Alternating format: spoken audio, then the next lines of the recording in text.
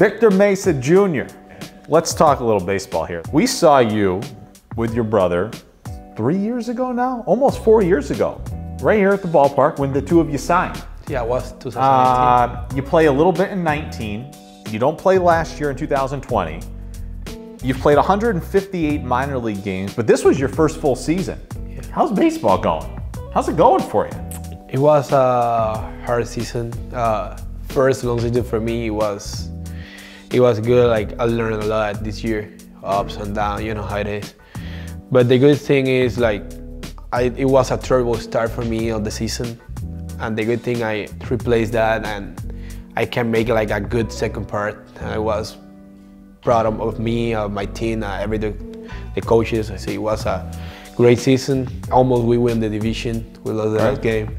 Go back a couple of years, Victor, because as you and I sit here now, it's unbelievable that in a matter of three or four years, you're confident enough to sit here and speak English and do this interview. That probably wouldn't have happened all those years ago. I mean, you've taken the English classes seriously, the on field stuff seriously. You should be proud of yourself, but how much confidence has that given you? I think uh, I was gonna say that that's coming with my personality. Yeah. I think since my first year, I learned the, the basic, and that's the that's the, the the principal the principal thing. You know, I used to learn like I'm not afraid to make a mistake. Right. I'm talking with my guys, Nas, Cyrus, uh, Bennett, all the guys that I that have been part of my, my team. The good thing is I learn more outside than in the classes because in the classes you you learn how to do like a perfect stand or something like that. But on the field, on the, locker, on the dugout, everything you gotta learn that you gotta talk to them how you how you talk to them if you don't speak English. So I gotta I gotta learn and hopefully I did like not as well as you, but Yeah, but we, we do I do my thing. But there are not many guys. You come from Cuba, wherever you're you're Spanish speaking, whatever language you speak. There are not too many guys that are receptive to working this hard to put yourself in this position where you and I can sit here and talk today. I, I learned in four months. On my first year, I already speak English, but not as well as doing it right now. But you know, being perfect some things. But How'd you learn? Did you watch a TV show? Was it Yeah. just book work, or was it? How'd yeah, you do it? I watched Netflix, uh, Blacklist. That's how you learned English. Yeah, I watched Netflix, Blacklist, uh, talking with my guys. Uh, what's something that you've learned about yourself since joining this organization? Something that I learned about me is like no matter where I where I, where I am, what place, always it's gonna be me. Uh, I don't care if I'm in Cuba, in, Miami, uh, in Alaska, Europe, whatever. Always gonna be me. Uh, that's something uh, pretty cool. I, pre- I got pretty confident in me. You've got a lot of personality. Yeah. Where are you at in your baseball career right now? How, how, do you, how do you feel on the field? How far do you think you are away from being a Major League Baseball player? It's not too much different the, between the major league baseball and minor league baseball. I think uh, the difference is details. How fast do you learn the details? And that's what I'm doing in this camp. Like learn details. I, when uh, a coach talks something, I try to hear what they say. When Dembo, Jeter, or whoever, Jeff, whoever is sp- speaking on that uh, on that room, I try to listen because that's gonna that's gonna help me to be on another level. I think obviously the, the, the basic thing of baseball, I think I know it. But I think the difference is in the detail, the consistency. How often do you dream about making your Major League debut in Miami?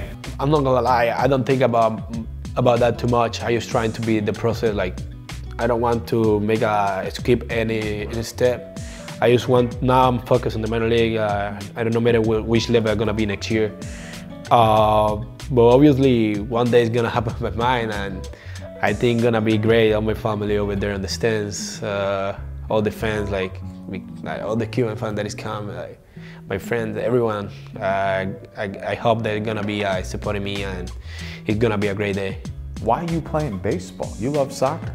I don't even know, man. I think I was because when I was in Cuba, my dad was uh, a legend over there in baseball. He introduced myself to the baseball teams.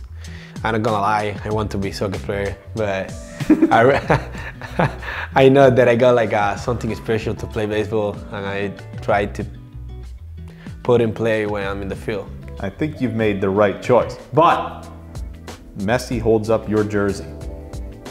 What was that like? Uh, I'm gonna tell you a, a quick history. Uh, I know that he was in Miami because he doesn't post on Instagram.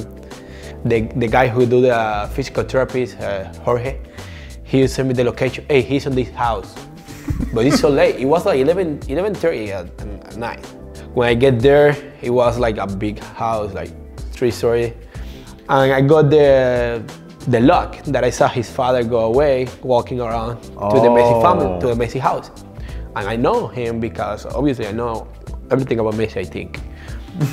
uh, when I saw him, I said, George, sorry, um, I don't want to bother you. I'm a baseball player for the Marlins, but I just want to take a picture with Leo. I don't, seriously, let me know if I can come tomorrow, so whenever. Like, I don't want to bother you. I come because he, I'm a big fan. And he told me like in a bad mood. No, that's gonna that, that- that's not gonna be possible. I say, no, damn, it's okay. I just I just no, hear this. Like a few minutes later, I, his the nephew's Messi. He come away. He say, hey bro, George want to apologize, for, what he did. And I said, don't, don't worry. I know that he don't want to say that, but it's 11:30 at the night. I'm the guy who I'm bothering you guys. no, no, you guys to me. And I say, bro, like if you now you here like can I take a picture with Leo? And he say, bro, it's too late. He was like he wake up too early. And I say, okay, I bring my jersey. I only need uh, if you can bring uh, my jersey to him, we'll be grateful. Like I'll be grateful all my life. And the next day, I text him and I say, hey bro, how are you? Finally, you can do something. He don't answer me. I no yeah. Okay, I go to the play, 6 p.m. It was a terrible game, one for four, but with three strikeouts, I was like too mad. In Jupiter? Yeah, we hammerhead. At the end of the game, I saw the picture of that. I was gonna say that he sent me a picture, and I'm gonna say that it was one of my best day of my life because that's it's not every day that you idol hold your jersey, and it was pretty incredible, Are you the best soccer player in the Marlins organization? of course. No doubt. Not that.